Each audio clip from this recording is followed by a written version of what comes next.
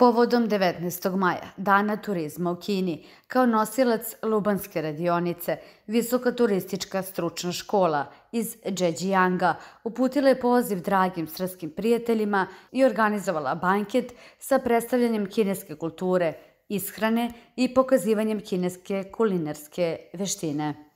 Cenjeni skupe, čini mi izuzetnu čast i zadovoljstvo što sam u mogućnosti da vam se obratim ispred Ministarstva prosvete na kulinarskoj i kulturnoj izložbi koja je organizovana od strane Akademije strukovnih studija i Visoke hotelijerske škole u Beogradu u okviru radne posete delegacije koleđa Zhejiang u pokrajini Hanzhou, te u tom smislu želim pre svega da iskažem srdačnu dobrodošlicu našim dragim gostima iz prijateljske Narodne republike Kine. Dobrodošli u Beograd, dobrodošli u Srbiju. Ministarstvo prosvete izuzetno ceni i vrednuje saradnju Akademije strukovnih studija Beograd sa koleđom za turizam Zhenjiang u pokrajini Hanču, koja se razvija već nekoliko godina. Rezultat te saradnje je i ova večerašnja kulinarsko-kulturna izložba na kojoj učestvuju i studenti ove akademije. Podsećam vas da je 2019. godine upravo u Ministarstvu prosvete, nauke i tehnološkog razvoja potpisan sporazum o saradnji između Akademije i Koleža za turizam Zhenjiang u prisustvu tadašnjeg državnog sekretara, večeras ovde prisutnog, dragog i poštovanog mog kolege profesora doktora Viktora Nedovića. Drago mi je što čujem da je do sada uspešno realizovana razmena studenta i profesora dve zemlje. Na taj način studenti su mogli da uče jedni od drugih, da uporede svoja znanja i razmene iskustva, ali i da promovišu našu kuhinju u Kini. Ovo je posebno važno kada imamo u vidu koliko je za mlade ljude značajno upoznavanje novih kultura i osobenosti zemalja što doprinosi razvijanju i proširenju vidika, prihvatanju različitosti i interkulturalnosti. Pre 5000 godina svetlost mudrosti i civilizacije koja se bavi uzgojem pirinča obasjala je drevni grad Liangzhu, osvetljavajući kineska prostranstva. U dugoj reci istorije iznedrila se hrabrost kineskog naroda koji se usudio da bude prvi na svetu po svom pragmatičnom duhu i nalaženju istine u činjenicama. Ovaj banket sa temom Elegantni stil, Sung banket, prikazuje stil hrane iz kineske dinastije Sung, pre više od hiljadu godina. Banket je počeo naručivanjem čaja u maniru dinastije Sung, a jela su obuhvatala jedan poslušavnik, četiri predjela, deset toplih jela, jednu čorbu i četiri peciva. Tokom banketa koristilo se devet čašica za piće, kao u dinastiji Sung. Kroz paljenje miriševih štapića, kačenje slika, sviranje instrumenta i aranžiranje sveća. Predstavila se scena elegantnog banketa koji je prevalio hiljadugodišnji put. 很高兴和大家相聚在美丽的贝尔格莱德。 Zadovoljstvo mi je videti vas sve danas u prelepom Beogradu. Danas je dan kineskog turizma. Ustanovljen je u znak sećanja na čuvenog drevnog kineskog putnika Xu Xiakhea. On je 30 godina proveo pešice obilazeći planine, reke Kine i napisao je remek delo geografsko od 600.000 reči, nazvano putovanja Xuxiakea, takođe e, poznato i kao prva osoba turizma u kineskom turizmu. 19. maj je dan kada je on započeo svoje čuveno putovanje, a u njegovu čast kineska vlada je ovaj dan ustanovila kao dan kineskog turizma.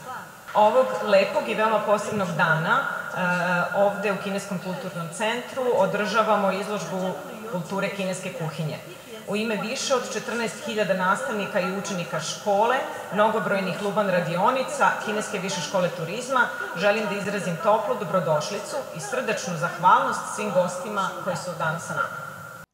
Posredstvom sung čaja, sung vina, sung porcelana, sung jela i grickalica u stilu sung. Doneta je kulturna gozba koju žitak za oči, uši, usta, nos, telo, um i dušu, poput slatkih snova o bogatstvu i moći.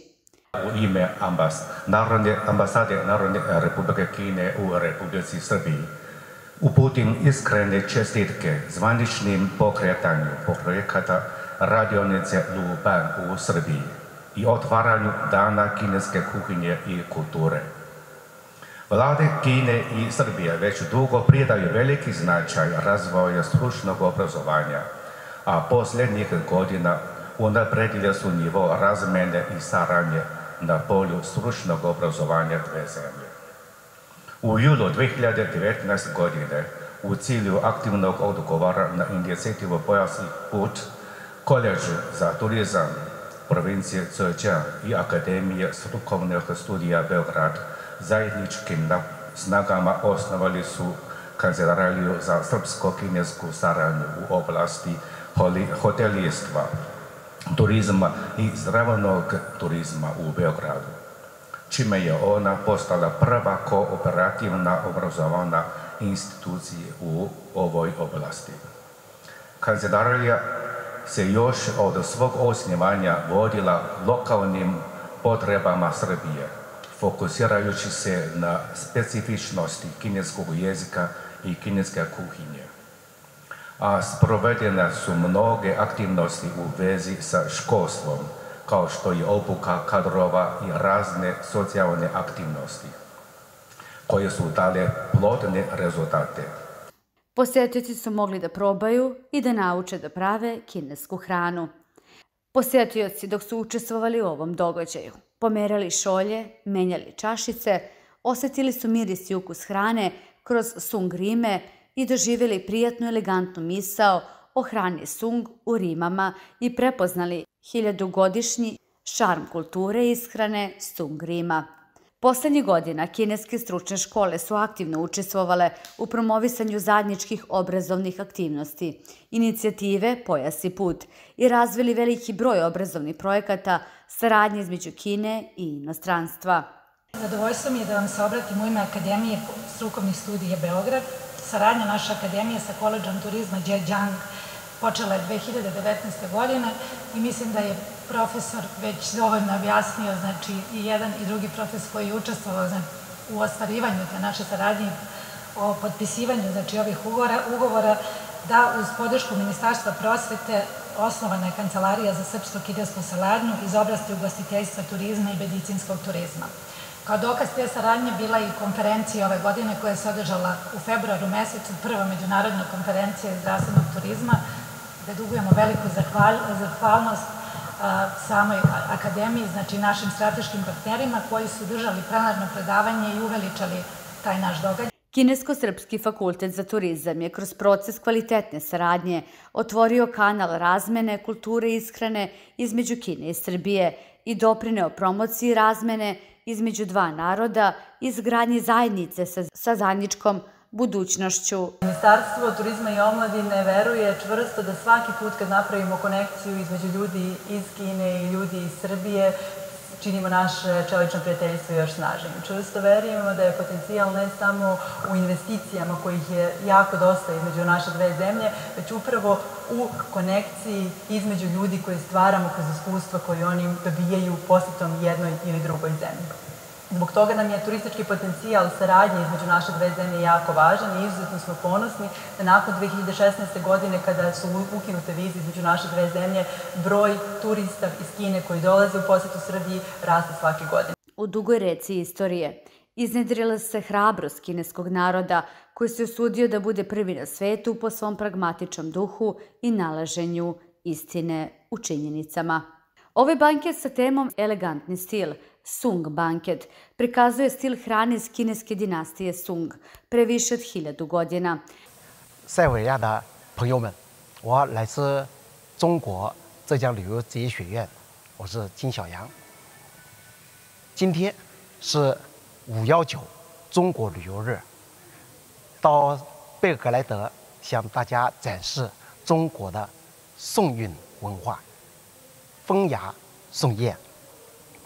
Dragi prijatelji Srbije, dolazim iz Akademije strukovnih studija iz Kine, Zhejiang provincije.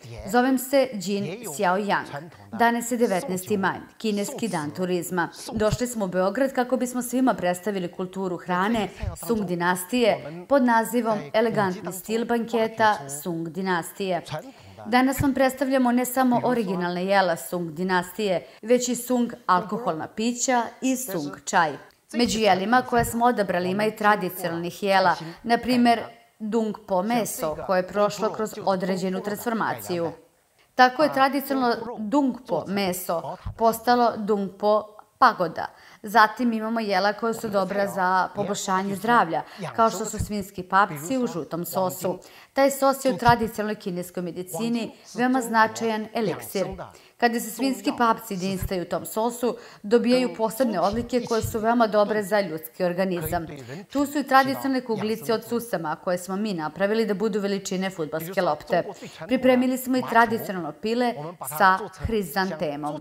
Moderni banketi najčešće ne sadrže jela poput kandiranog voća, suvog voća, svežeg voća i sušenog mesa. Da bismo vam dočarali autentični drevni sung banket, mi smo pripremili ono što je tradicionalno bilo na trpezi. Četiri vrste kandiranog voća, četiri vrste suvog voća, četiri vrste svežeg voća, kao i četiri vrste sušenog mesa. Hvala. 茶点，我们为了挖掘传统的这个宋宴，把最传统的这 四蜜饯、四干果、四鲜果以及四茶点都给大家展示出来。谢谢。大家好，今天给大家带来的是宋代点茶。中国是茶的故乡，点茶是宋代。Dobar dan svima. Danas vam predstavljamo tradicionalni sung čaj. Kina je postojbina čaja, a dijen ča je način na koji se čaj pripremao za vreme Sung dinastije. U to vreme su i car i obični ljudi na ovaj način pripremali čaj. Tri neophodna predmeta za pripremu čaja su žica za mućenje činija i čajnik. Tokom pripremanja čaja žicom se pravila pena. 利用击浮的方式产生泡沫。 Posetioci dok su učestvovali u ovom događaju, pomerali šolje, menjali čašice, osetili su miris i ukus hrane kroz sung rime i doživjeli prijatnu elegantnu misao o hrani sung u rimama i prepoznali hiljadugodišnji šarm kulture ishrane sung rima.